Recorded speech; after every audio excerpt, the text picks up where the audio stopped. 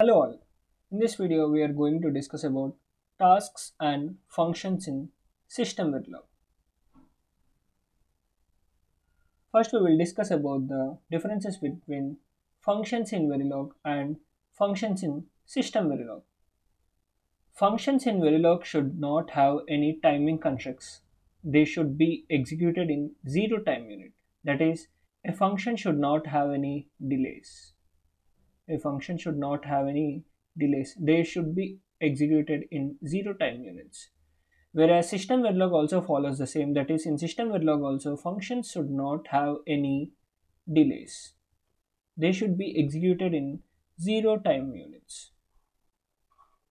And coming to second point, functions in Verilog can have only input arguments. That is, for example, if we declare a function a, then the arguments of the function should only of input type. Functions in Verilog can have only input arguments, whereas the functions in system Verilog can have both input, output and inout arguments. Here in system Verilog, if we declare a function, then in that the arguments can be of input, output or inout. Here, in Verilog, functions cannot be of void type, whereas in system Verilog, functions can be of void type. And in Verilog, multiple statements in a function require begin and block. For suppose in a function, if there are multiple statements, then they should be begin and block present whereas in system Verilog, multiple statements in a function doesn't require begin and block. Here no need of declaring any begin and block whereas in Verilog, if there are multiple statements then we should declare a begin and block. We should use a begin and block. Next, coming to fifth point, returning from a function before it ends is not possible. For suppose here if we declare a function before the function ends, we cannot get out of the function. Whereas in system Verilog, we can get out of this function by using the keyword return before the function ends. So returning from a function before it ends is possible using the keyword return. Whereas in Verilog, we cannot return, we cannot exit from a function before it gets end. After the function completes its execution, we can exit from the function. Whereas in system Verilog, we can return from the function before it ends. Next, pass by value is only mechanism for passing the arguments. Here in system Verilog, pass by reference, pass by name and pass by position are the available mechanisms. These we will cover in upcoming slides. Task in Verilog and task in system Verilog. Tasks in Verilog can have timing constructs, that is, it can have delays or any type of timing constructs a task can contain. Whereas in system Verilog also can have the timing constructs. Next, multiple statements in tasks require begin and block in case of Verilog. Whereas in case of system Verilog, multiple statements in task doesn't require any begin and block. In case of system Verilog, multiple statements in task doesn't require any begin block.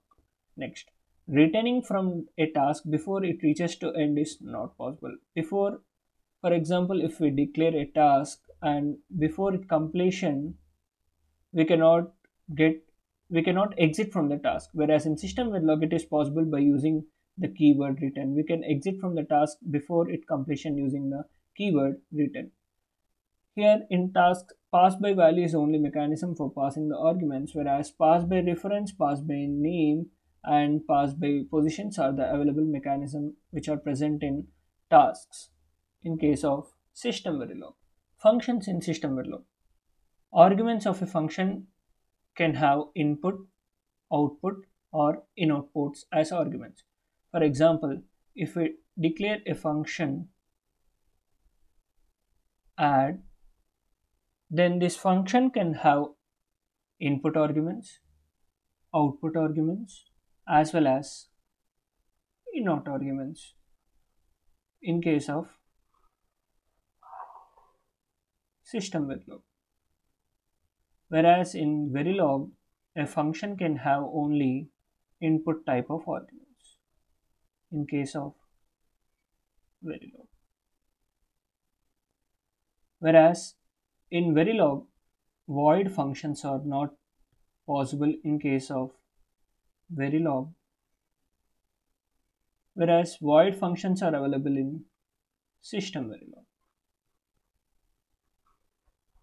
So these are the differences between functions in Verilog and functions in system Verilog.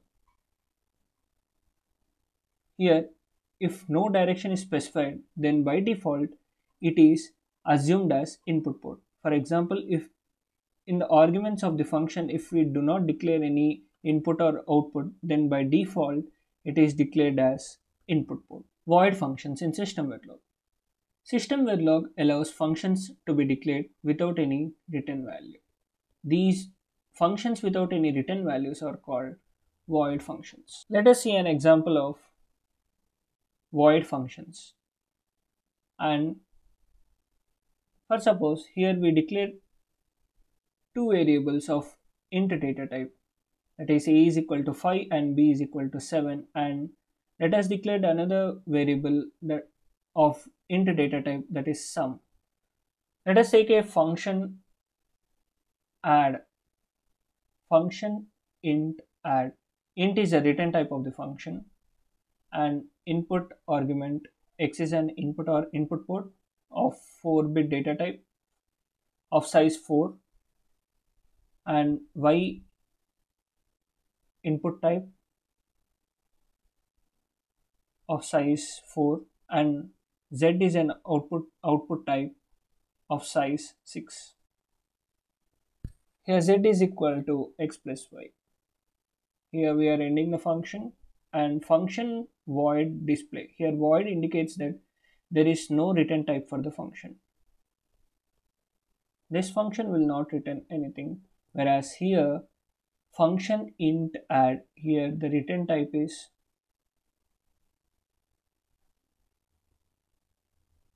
int and within an initial begin beginning block we are calling the function add. And we are the we are passing the arguments a to this function add.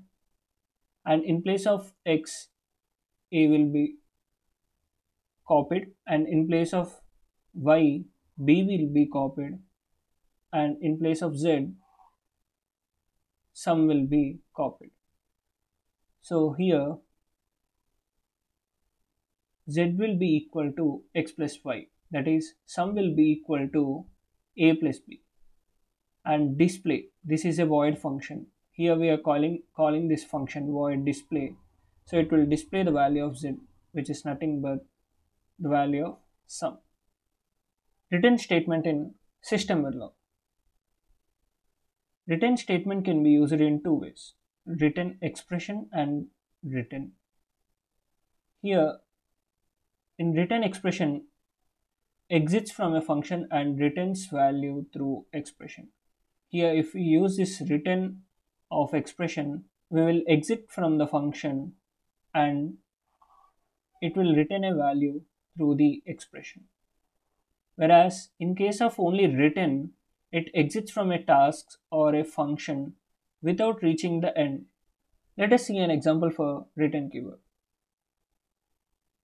Here we have declared two variables a comma b and of int data type and we have assigned two values to it 5 comma 7 and we have declared another variable int sum of data type int and we have declared a function of return type int and function name is add here x is input type y is also input type and z is output type and z is equal to x plus y. Here we are using the return keyword and here we are using z is equal to x minus y. And we are displaying the value of sum by using this function display. This return type of this function is void. That is no return type. Void indicates that there is no return type. Within an initial beginning block, we are calling the function add. So here the value of a is copied to x and the value of b is copied to y and z is copied to sum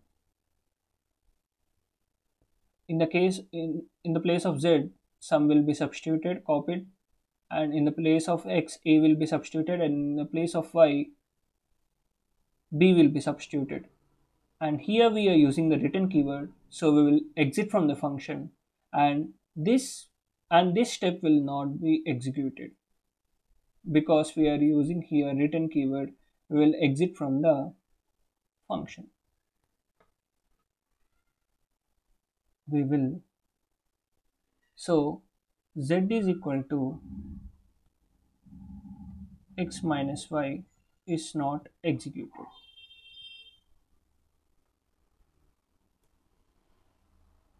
Thank you for watching this video